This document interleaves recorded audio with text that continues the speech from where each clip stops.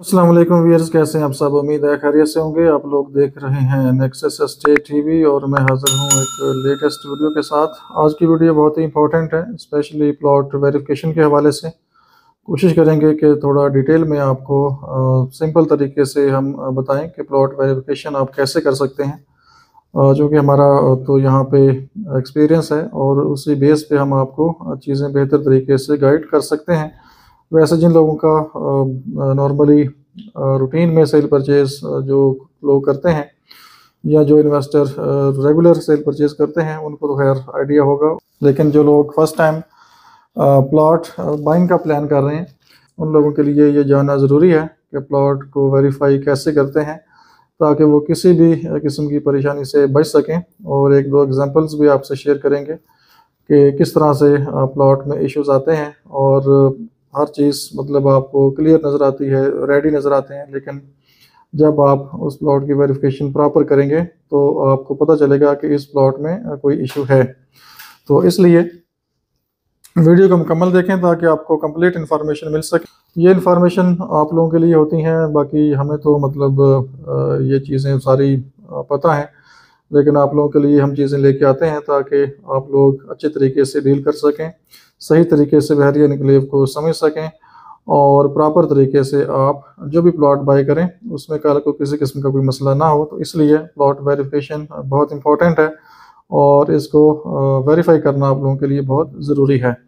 और बाकी बातें भी साथ साथ आपसे करते हैं। सबसे पहले प्लॉट वेरिफिकेशन में डॉक्यूमेंट वेरिफिकेशन होती है और सेकंड नंबर पे plot on visit plot on site verification होती है और थर्ड नंबर पे प्लाट स्टेटस, इन दोनों को हम लास्ट में चेक करेंगे।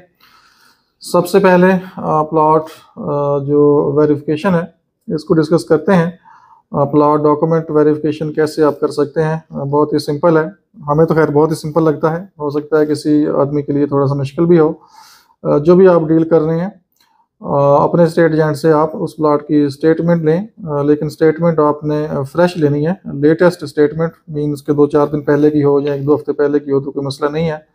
सबसे पहले आप फ्रेश स्टेटमेंट चेक करेंगे और फिर वो स्टेटमेंट आपको शो करेगी कि प्लाट का जो स्टेटस है, वो क्या है, क्योंकि फ़ाइल स्टेटस एक्टिव आ रहा होता है।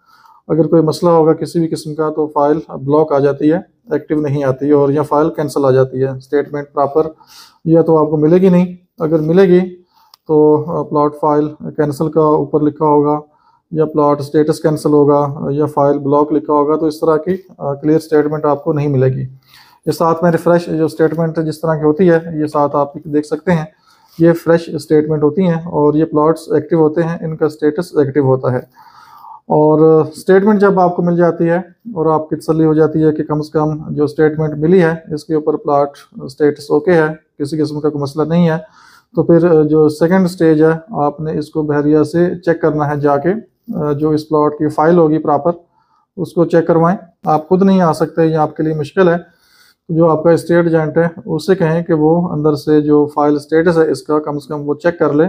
इसमें किसी किस्म का कोई स्टे ऑर्डर कोई लीगल इश्यू तो नहीं है। ये ना हो कि किसी ने कोई स्टे किया हो और वो फ़ाइल के अंदर लगा हो। तो इस तरह की चीज़ें, जब फ़ाइल प्रॉपर चेक होगी तो आपको पता चल जाएगा कि फ़ाइल स्टेटस ओके है, इसमें कोई मसला नहीं है।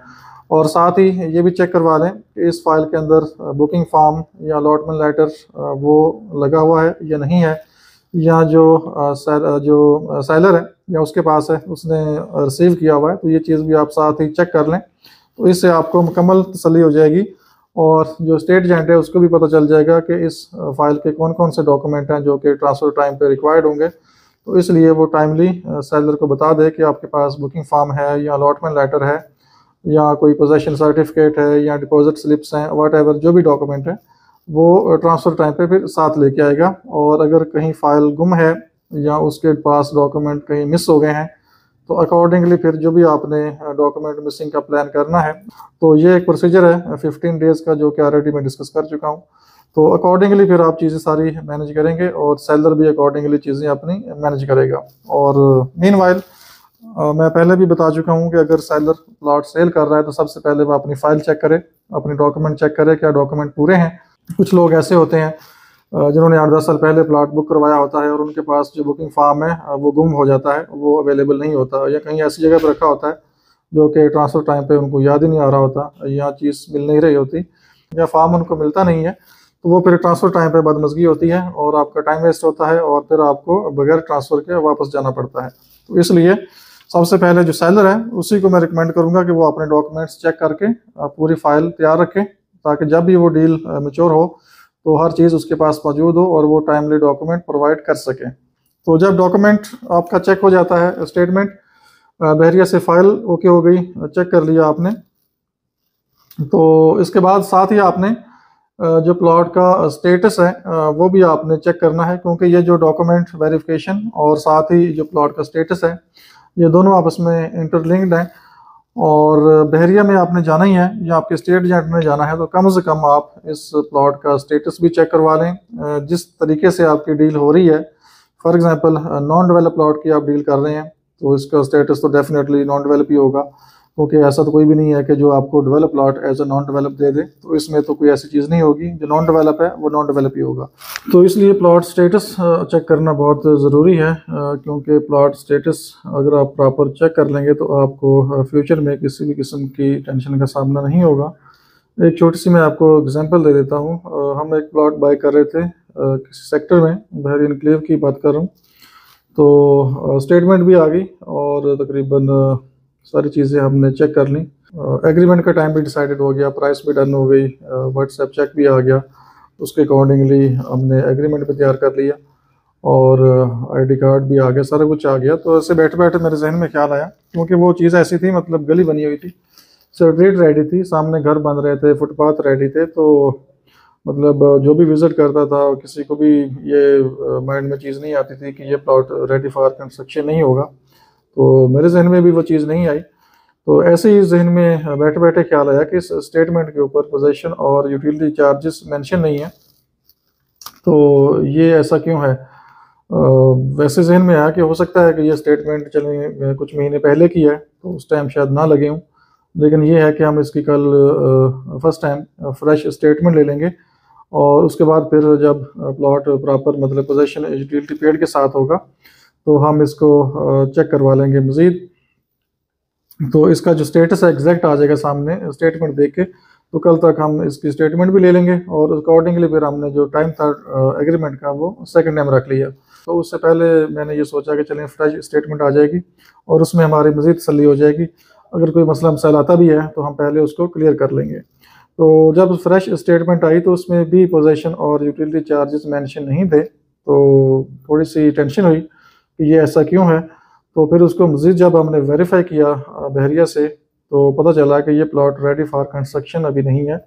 इसमें कुछ अभी मसले मसाइल हैं लैंड के जो कि अभी क्लियर होने हैं। तो क्लियर तो खैर हो जाएँगे क्योंकि उसमें कोई आबादी नहीं है, घर नहीं है, खाली लैंड है। तो लेकिन ये है कि टेम्परेरी जो हमारी डील हो रही थी, वो डेवलप प्लॉट की हो रही थी, जो कि रेडी हो और पोजेशन यूटिलिटी चार्जेस पेड के साथ हो। तो अगर पेड ना भी हो चार्जेस तो वो ट्रांसफ़र टाइम पे पे हो जाते हैं, लेकिन कम से कम स्टेटमेंट के ऊपर लगे हों। और पता हो कि ये प्लॉट रेडी है, क्योंकि नॉर्मली 99 परसेंट ऐसा होता है कि जो प्लॉट रेडी होता है, उसी प्लॉट की स्टेटमेंट के ऊपर पोजेशन और यूटिलिटी चार्जेस आते हैं। जो प्लॉट रेडी नहीं होता, उसके चार्जेस फौरी तौर पर स्टेटमेंट के ऊपर नहीं आते। तो इसलिए वो डील फिर हमें कैंसिल करनी पड़ी, इस वजह से कि वो प्लॉट रेडी फॉर कंस्ट्रक्शन नहीं था। अदरवाइज़ अगर मैं थोड़ा सा इसको मज़ीद चेक ना करता तो वो डील हमारी हो गई थी और ट्रांसफ़र भी हो जाता। और यहाँ हो सकता है डील डन हो जाती, बयाना हो जाता और ट्रांसफ़र टाइम पे जब पे ऑर्डर बन जाता। सारी फीसें जमा हो जाती टैक्स वगैरह। तो ट्रांसफ़र टाइम पे हो सकता है कि ऐसे हम उसको चेक करते या पूछते तो पता चलता है कि ये प्लॉट रेडी फॉर कंस्ट्रक्शन नहीं है तो फिर और ज़्यादा मसला होता। इसलिए हमने जब प्लॉट की स्टेटमेंट ली फ्रेश तो उसमें ही हमें क्लियर हो गया कि ये प्लॉट रेडी फॉर कंस्ट्रक्शन नहीं है। इसलिए हमने वो एग्रीमेंट भी नहीं किया बयाना भी नहीं किया और डील को फौरी कैंसिल कर दिया। आ, ये जस्ट मैं आपकी इन्फॉर्मेशन के लिए चीज़ें आपको बता रहा हूँ कि हो सकता है आप में से भी किसी के साथ ऐसा कोई आ, कल को हो और आप लोग भी इसी किसी प्रोसीजर में जाएँ तो आपको पहले पता हो कि चीज़ें किस तरह से होती हैं। और फिर एक प्लॉट मेरे पास डायरेक्ट था और पार्टी को वो प्लॉट पसंद आ गया और बैठे बैठे हमने क्लाइंट को कॉल की और उसने ओके कर दिया और बगैर बयान दिए हुए वर्बली चीज़ डन हुई और अर्जेंट एनडीसी करवाई और next day early first time हमने वो प्लाट ट्रांसफ़र करवा दिया और दोनों पार्टीज़ का आपस में एग्रीमेंट हो गया और फिर डील हो गई। तो इस तरह भी चीज़ें होती हैं और कुछ प्लाट्स ऐसे भी होते हैं जो कि हमारे पास डायरेक्ट होते हैं, अपने क्लाइंट के या इन्वेस्टर के होते हैं। तो उनसे फिर हमें वो ज़रूरत भी नहीं पड़ती बयाना करने की। हम जस्ट फ़ोन कॉल पे या व्हाट्सएप पे उनको मैसेज करते हैं। वो अगर ओके कर दें तो चीज़ ओके हो जाती है। तो ये सिंपल तरीका होता है कि चीज़ अगर डायरेक्ट हो हमारे पास तो वो बहुत ही आसान हो जाता है। लेकिन समटाइम वन डाउन भी चीज़ होती है। तो पहले हम अपनी वेरिफिकेशन करते हैं तसली करते हैं तो उसके बाद डील को आगे लेके चलते हैं। क्योंकि ज़रूरी नहीं है कि आपके पास सारे प्लॉट डायरेक्ट हों, या प्लॉट आपके पास रीज़नेबल हों। कुछ प्लॉट ऐसे भी होते हैं जो कि मार्केट से आ रहे होते हैं, लेकिन सोर्स या चैनल आपका कन्फर्म होता है। ऑथेंटिक पार्टी होती है और आपको पता होता है कि ये जिससे प्लॉट आ रहा है वो बंदा ठीक है तो मसला नहीं होगा। तो वो चीज़ें भी रीज़नेबल सामने मिलती हैं तो हम वो भी डील्स करते हैं। तो इसलिए परेशानी की ज़रूरत नहीं है। जस्ट वेरी सिंपल आपका जो स्टेट एजेंट है, वो प्रॉपर एक्सपीरियंस वाला वेल इन्फॉर्म्ड और प्रॉपर डील को मच्योर करने वाला हो और चीज़ों को सही तरीके से हैंडल करने वाला हो तो फिर क्लाइंट को परेशानी नहीं होती। और इसके बाद लास्ट में हम डिस्कस करते हैं ऑन साइट प्लॉट वेरिफिकेशन वो आप कैसे कर सकते हैं, उसमें तीन तरीके हैं। एक तो आपकी सेल्फ वेरिफिकेशन है, आपके पास मैप है, या फ़ोन पे आपको प्लॉट नंबर बता दिया रेट सेक्टर सारा बता दिया, आपने खुद उसको विज़िट किया, देखा और चले गए। एक होता है स्टेट एजेंट के साथ आप विज़िट करते हैं और साथ साथ आप डिस्कस भी करते हैं। मज़ीद चीज़ें भी एक्सप्लोर करते हैं और प्रॉपर आप डिटेल में डिस्कस करते हैं चीज़ें। और थर्ड नंबर पे आप रेफरेंस बेस्ड वेरिफिकेशन करते हैं। मीन्स के किसी भाई को भेज दिया आपने अपने किसी भाई को भेज दिया, किसी रिलेटिव को भेज दिया या किसी दोस्त को भेज दिया कि यार ये प्लॉट जाके देखें कैसा है। डेफिनेटली वो दोस्त या आपका भाई या रिलेटिव आपको जो उसकी अपनी ओपिनियन है, वो आपको दे देगा। लेकिन हो सकता है वो ओपिनियन आपसे डिफरेंट हो या थिंकिंग लेवल आपसे डिफरेंट हो तो वो चीज़ें डिफरेंट हो जाती हैं। तो इसलिए जो ज़्यादा बेस्ट और रिलायबल आपकी साइट वेरिफिकेशन है, वो आप खुद और स्टेट एजेंट दोनों मिल के करें। पास आपके लेटेस्ट मैप हो साथ साथ आप डिस्कशन करें। साथ साथ और भी हो सकता है साइट आपको पसंद आ जाए, कोई और सेक्टर आपको पसंद आ जाए डिस्कशन में। तो बेहतर है कि दोनों मिलके अगर आप विज़िट करेंगे साइट को तो वो परफेक्ट और 100 परसेंट एक्यूरेट होगी और इसमें किसी किस्म का आपको मसला नहीं होगा। आप भी सेटिस्फाई होंगे। आपका जो स्टेट एजेंट वो भी सेटिस्फाई होगा कि पार्टी ने प्लाट देख के सामने जाके पसंद किया है, देखा है। तो कल को कोई भी मसला नहीं होगा। ये नहीं होगा कि स्टेट एजेंट के ऊपर आप ब्लेम डालें, जी इसने प्लॉट देखा था, पसंद किया था। मैं तो उस टाइम आया ही नहीं था। तो दोनों पार्टीज़ जब साइट विज़िट करेंगी तो ये आपकी एक्यूरेट इन्फॉर्मेशन होगी। ये आपसे कुछ गुजारिशात थी प्लाट वेरिफिकेशन के हवाले से। तो इसके अलावा भी, और भी कुछ चीज़ें हो सकती हैं। हो सकता है आपके माइंड में कुछ चीज़ें आ रही हूँ तो डेफिनेटली जो हमारे जो हमारे माइंड में चीज़ें थी वो हमने आपसे डिस्कस की हैं। बाकी सेल परचेज़ के लिए आप कॉन्टैक्ट कर सकते हैं। नंबर आपके सामने आ रहा है।